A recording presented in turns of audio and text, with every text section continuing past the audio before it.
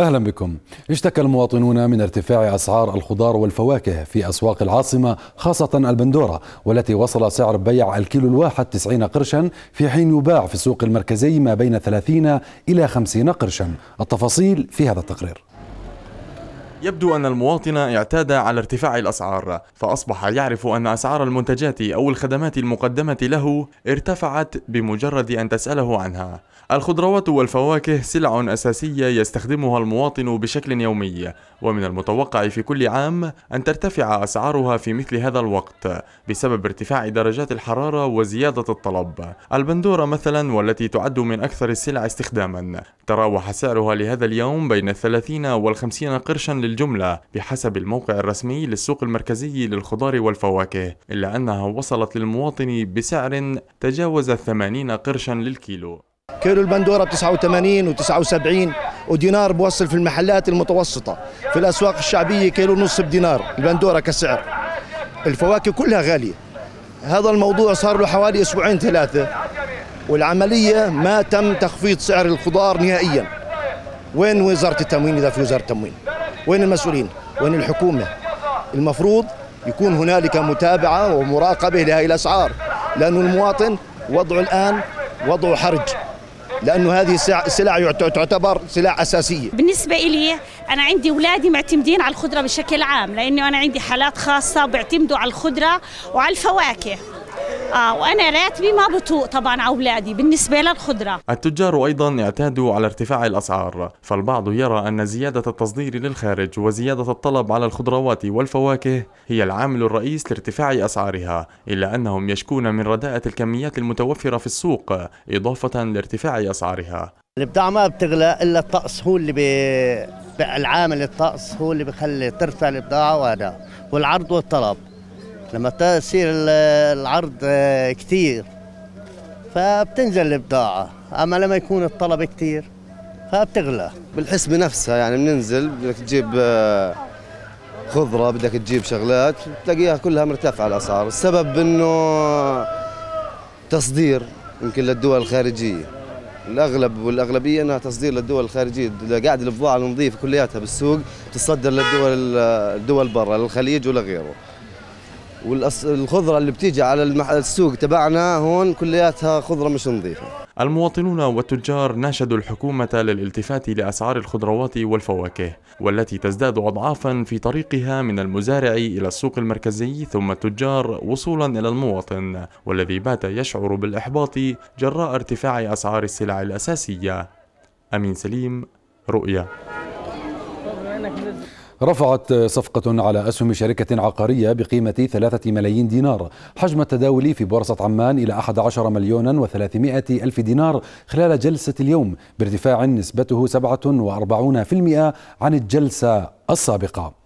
أما مستويات الأسعار فقد انخفضت بنسبة طفيفة ليغلق المؤشر العام لأسعار الأسهم عند 2119 عقدا في حين انخفض الرقم القياسي لكافة القطاعات وبنسب طفيفة أيضا. في حين سجل القطاع المالي أعلى مساهمة في حجم التداول بقيمة 44 و48% وبالمرتبة الثانية جاء قطاع الخدمات بنسبة 35% تقريبا والصناعة ثالثا بنسبة 20 و45%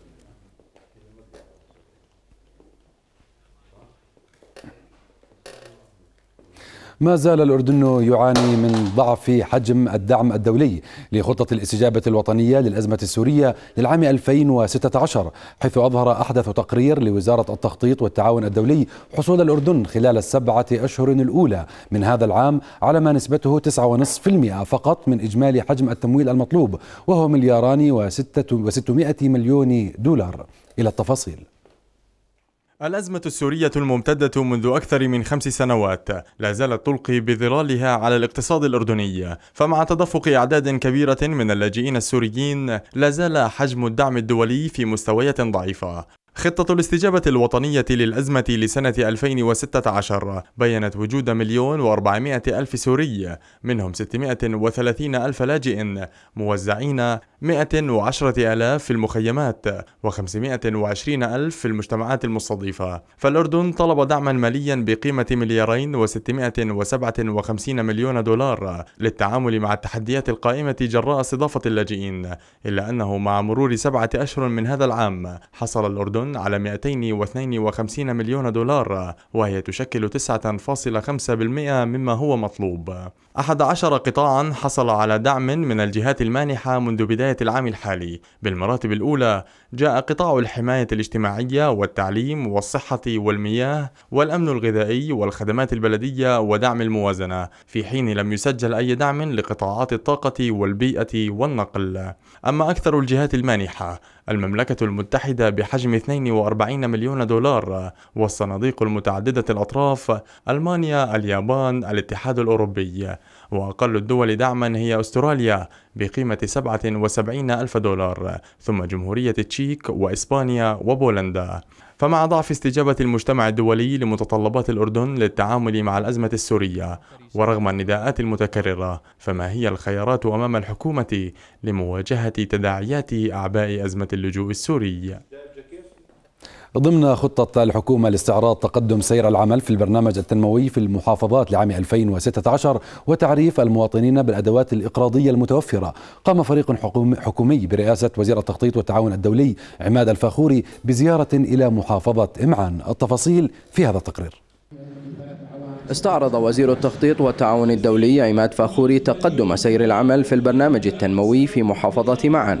ما يتم تنفيذه في 2016 122 مليون دينار أردني آه، في مشاريع في كافة أنحاء المحافظة آه، آه، حوالي 110 مليون من قبل كل الوزارات المعنية التي تقدم كل الخدمات بتحسين خدمات التعليمية الصحية البلدية والطرق وغيرها أو زيادة القدرة البنية التحتية الموجودة أو لدعم مشاريع كبرى في آه، المحافظة. كنا بنحكي عن حوالي 122 مليون دينار راح يتم صرفها واللي تم صرفها خلال مشاريع تنموية بنعتقد أنه هذه بتغطي جانب كبير من النقص اللي كان في المشاريع التنموية وفي الخدمات المقدمة للمواطنين.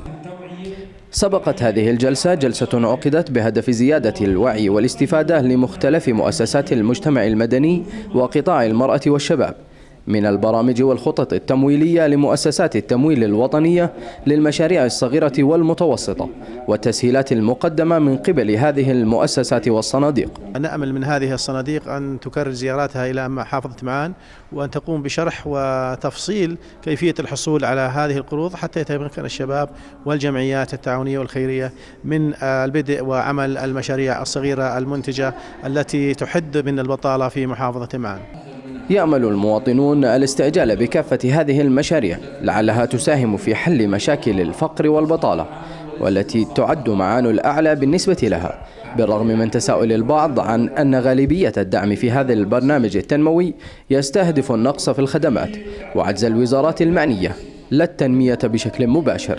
محمد دويرج رؤية انخفضت أسعار النفط اليوم مع تأجج المخاوف من استمرار تخمة المعروض من الخام في الأسواق حتى العام المقبل بفعل ارتفاع المخزونات الأمريكية والإنتاج القياسي السعودي بما يضغط على الأسواق. وجرى تداول خام غرب تكساس الوسيط الأمريكي في العقود الآجلة بسعر 41 دولارا و59 سنتا للبرميل. في حين جرى تداول خام برنت بسعر 43 دولارا و95 سنتا للبرميل. وكالة الطاقة الدولية قالت في تقريرها الشهري الصادر اليوم إن أسواق النفط ستبدأ في التحسن في النصف الثاني من عام 2016 ولكن بشكل بطيء وشاق في ظل تراجع نمو الطلب العالمي وزيادة إمدادات المعروض من الدول المنتجة خارج أوبك.